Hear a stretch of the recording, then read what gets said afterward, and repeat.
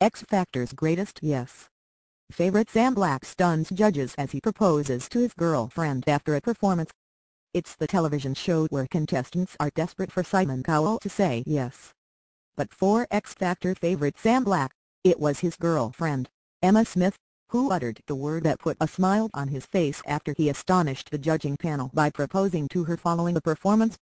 Plasterer Sam, 27, from the Isle of Man, left judges Nicole Scherzinger and Sharon Osbourne on the verge of tears as Emma, 24, said yes. She told the Mail on Sunday, it was one big shock, it was the last thing I was expecting. I was completely overwhelmed. He was nervous before the performance and I thought how he had to be nervous for this too. It was very brave of him.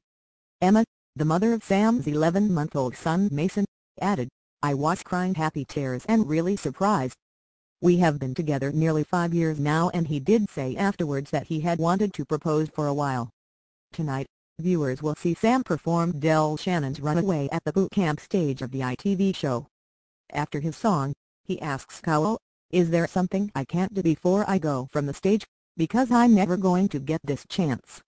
Shop manager Emma then joins him on stage and he gets down on one knee to ask, do you reckon I would get a yes off you? She said later, of course I said yes, it was such a special moment, one I won't ever forget.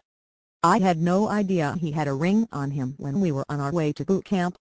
The couple, who met through mutual friends, are yet to set a date for the wedding but Emma is already looking for dresses. My mum is on my case to sort it out, she said. We're thinking about going abroad and doing it, somewhere hot, I think. We will invite the X Factor judges, and Sam is thinking of asking Louis Walsh to be best man.